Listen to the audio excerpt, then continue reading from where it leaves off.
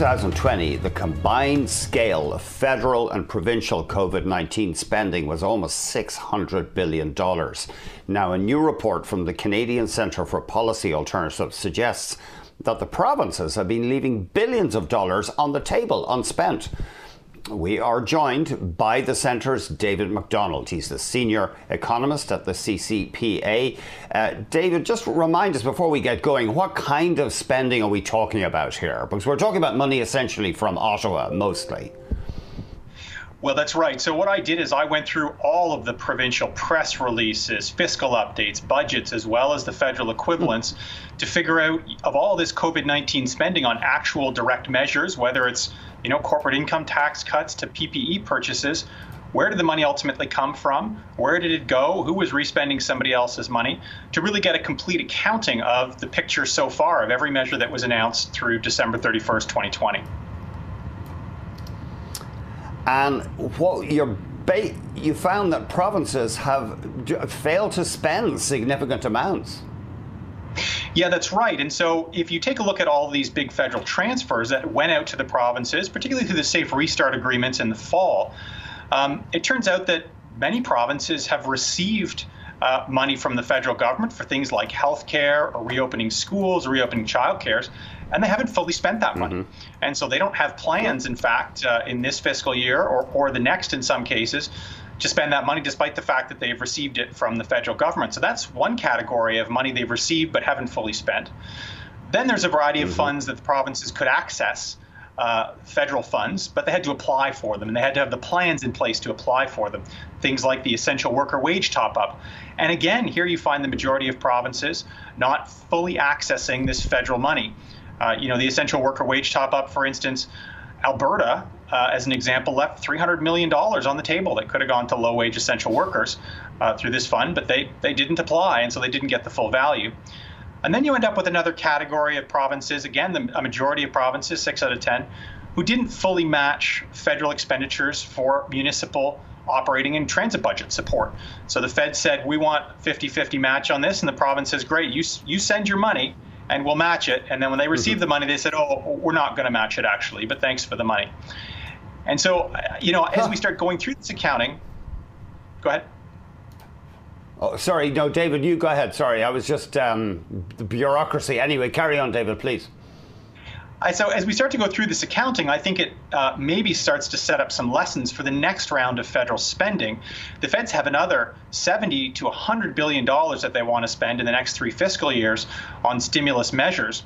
And so clearly the provinces are willing to call the federal bluff on cost matching uh, particularly when it comes to municipal budgets. Hmm. And so I think uh, as we, as this next round of money rolls out, we're likely to see uh, more stringent conditions and strings attached, to be sure.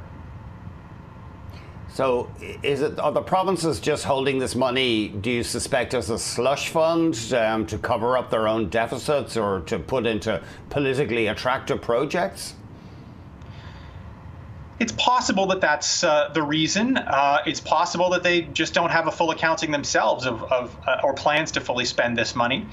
In several of the provinces, particularly Ontario, um, the province itself is maintaining a very large unallocated contingency fund for COVID 19. So there's a line in the budget that says COVID 19 measures, but it's not allocated to anything mm-hmm. in particular. Ontario is actually maintaining uh, across three funds funds a total of $6.4 billion that could be allocated basically for anything COVID 19 related, uh, whether it's PPE to, hmm. to long term care to supports for business or individuals.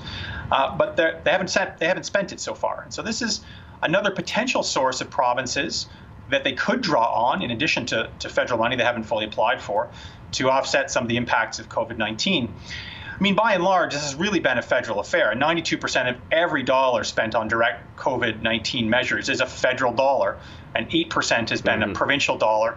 Even in areas like healthcare of you know this provincial jurisdiction, 88% of all the money spent on COVID-19 measures is is uh, federal, uh, and 12% is provincial. So very much a federal affair in terms of where the funding the funding's coming from.